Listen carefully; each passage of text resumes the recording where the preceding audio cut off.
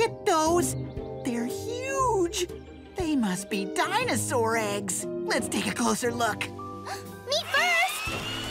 Watch out, Dizzy. I love dinosaurs! Me too. Uh-oh. Ah! Oh no! You lost it, Lofty!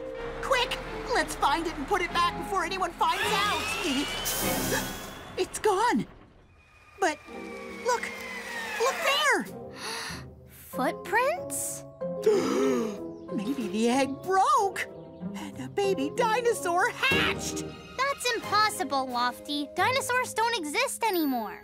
Then how do you explain th- th- th- that? It's a baby dinosaur! I can't believe you don't like roller coasters, Bob. I've been on dozens. The twisty tornado, the loopy loop de loop, the sudden drop. That sounds, uh, lots of fun. Look, the footprints go this way.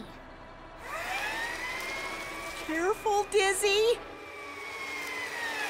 Oh, you're not a baby at all. No, he's a huge dinosaur. Hey, guys. what are you doing? Whoa, it's you, Scoop. Phew.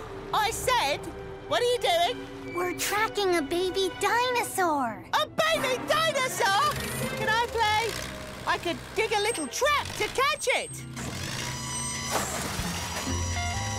Perfect. Now, Lofty, you pretend you're the Dino Daddy and call for your baby. Will do.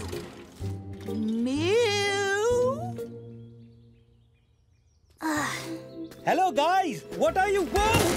Oh, sorry, Professor Bose. Uh, that was meant to catch a... Pretend dinosaur. Uh, we're tracking a pretend dinosaur. Well, if you like dinosaurs, you're going to love the new exhibit. Oh, yay! I can't imagine what it is. Here's a hint. It has something to do with a Gigantosaurus, one of the biggest dinosaurs to walk the earth. Bye! Bye, Professor.